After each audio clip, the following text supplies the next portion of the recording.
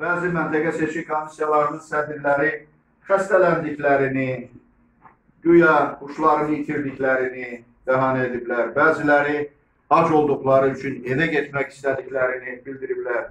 Bir çox məntəqələrdə səslər sayıldıqdan sonra seçkilərin nəticələri protokollara əlavə edilmədən, yazılmadan e, məntəqə komissiyasının sədri və məntəqə komissiyasının üzvləri çıxıb gediblər və müşahidəçiləri də çölə çıxarıblar, məntəqələri bağlayıblar. Bir çox seçki məntəqələrində e, bildiriblər ki, onlar protokolları yalnız növbəti gün təqdim edə bilərlər.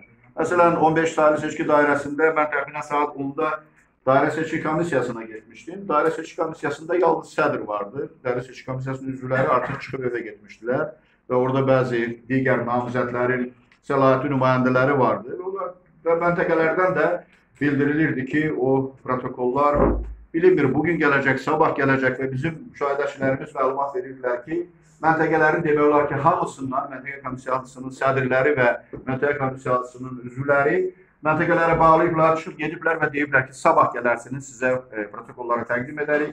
Bu da tamamilə qanuna zidd olan bir haldır.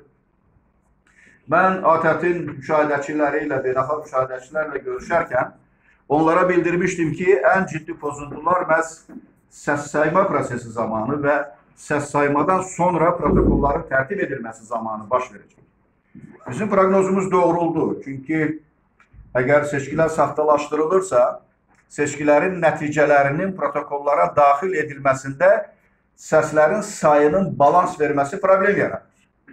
Ona görə də seçki məntəqələrində karbonlaşdırılmış protokollar yazılmır. Əslində seçki qanununa görə 3 karbonlaşdırılmış protokol var və bu protokollar doldurulmalıdır. Qaralamalardan seçkilərin nəticələri karbonlaşdırılmış protokollara köçürülməlidir.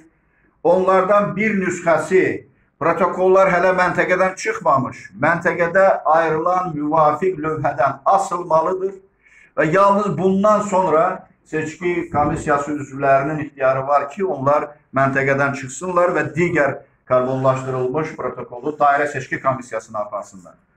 Bu prosedura ölkə üzrə heç bir məntəqədə əməl olunmur.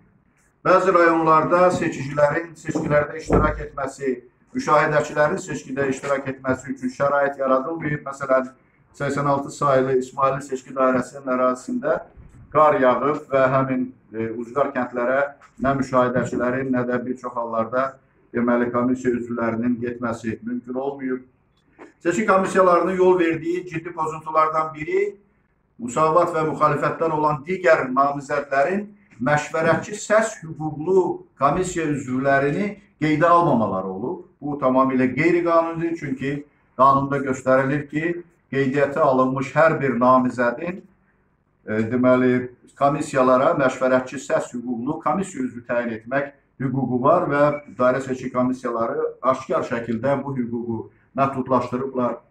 Bir çox hallarda Mərkəzi Seçki Komissiyasından müşahidəçi e, deməli sənədi almış, müşahidəçi kimi qeydiyyata keçmiş müxalifət nümayəndələri seçki məntəqələrinə buraxılmayıb və argumentləri ondan ibarət olub ki, onlar mütləq dairədə də qeydiyyata alınmalıdırlar. Halbuki bu tamamilə qanuna uyğun olmayan, qanuna zidd bir e, tək, e, təklifdir və bu təklif deməli təbii ki, əslində seçki komissiyalarında müşahidəçilərin iştirakının qarşısının alınması məqsədi ilə irəli sürülür.